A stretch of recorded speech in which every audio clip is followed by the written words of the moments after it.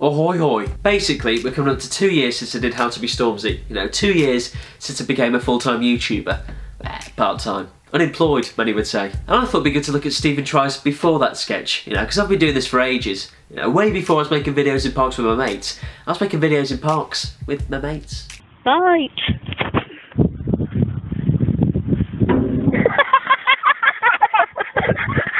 That's one of the better videos I've made, to be honest. The cameras and my BMI may have improved, but the acting hasn't. Right.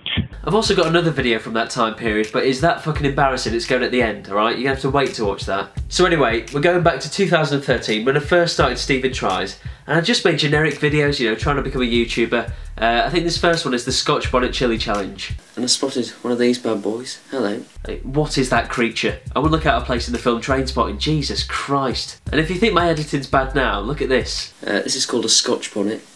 I know it sounds like something that Susan Boyle would have on her head. Got some facts. I just just get off the punchline. Who needs it? I look like I've sucked off Clifford the Big Red Dog. And after that great success, I made another chili video. I want to swallow it before it starts to burn. That's what she said. Water doesn't help. All I've got is, is E45 cream that, that moisturises and soothes your skin. After that video, I realised, hold on, I'm not entertaining. I need other people to help me. So that's when I got Ryan and Tom involved. Hello there, and welcome to uh, another chili challenge. And this video was on the channel for a while. You know, the hardcore steetards out there will remember that. Oh, my hands! My fucking bed! So I've got. I'm sleeping now, obviously. I Just want to take a moment to say sorry.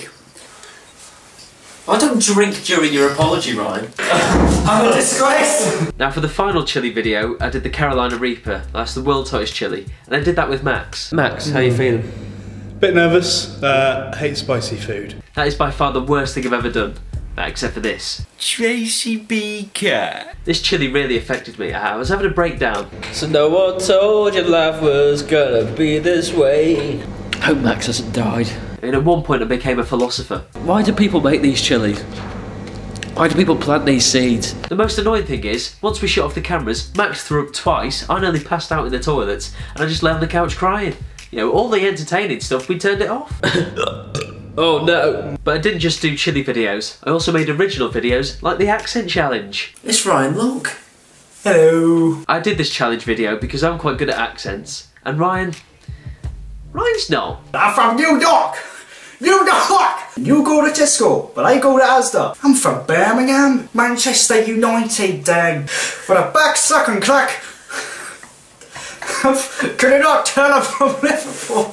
We then made a video about snooker, you know, because that's always on the trending page. And welcome to another crazy episode of Stephen and Ryan get up to all sorts. Mental. The stupid thing was, the ball would always go in.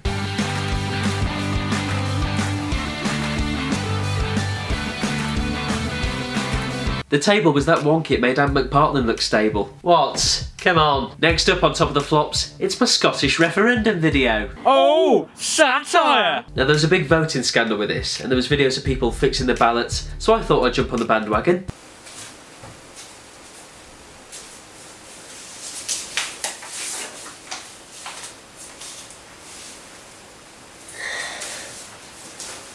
I thought I was so clever doing this, you know, I was expecting a call from Mock the Week or Have I Got News For You? Nothing. Now this is where things start to evolve a bit, you know, I was working with Tom and Ryan now at university, and we made a sitcom called Babe Station. Yesterday I turned on the TV set to see one of our babes dressed as Pudsey Bear doing a Sudoku. I did it for the children, Keith. No comment, it was weird. Babe Station could be so much more. Babe Station has been a staple of British society long before you arrived. And I don't see the need for that to change anytime soon. But Keith, I'm not satisfied seeing a babe holding a phone or a vibrator. I want to see them holding a BAFTA. I thought I told you to go out and find a new babe. Or are you too afraid to talk to women? I think we know how to talk to the ladies, thanks. well, do something. we won't let you down, sir. If you want to watch the whole thing on like Stephen Tries Less, then just let me know, alright? I can whack it up. After that we made a sketch show, you know, with like Educating Eating and the Bake Off. We also did a Misunderstandings character. Um, wasn't the best, you know, we did Come Dive With Me, Catch of the Day, Rasta Chef, and my personal favourite.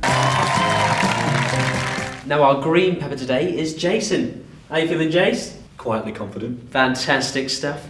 And what is it you'll be making for us? Well, today I'm going to be making a vegetable and tofu stir fry. Oh, sounds delicious. I'm looking forward to that. Now it's time to meet his competitor. Our red tomato today is Gavin. I thought you said ready, steady, fuck.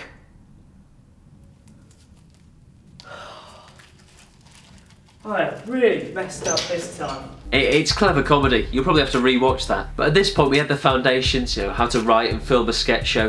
And that's sort of where Stephen Tries came from. Now, it'd be nice to end the video there, you know, in a poignant moment.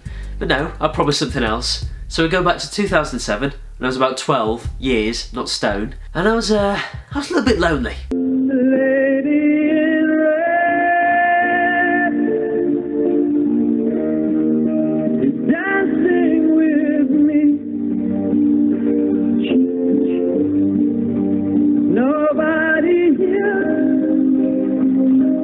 Before you ask, yes, I did used to hum that, Teddy. Anyway, I hope you enjoyed watching this video. You know, maybe it's inspired you. Know, if a fucking loser like this can make it onto YouTube, anyone can. Now to play us out, it's Krista Berg.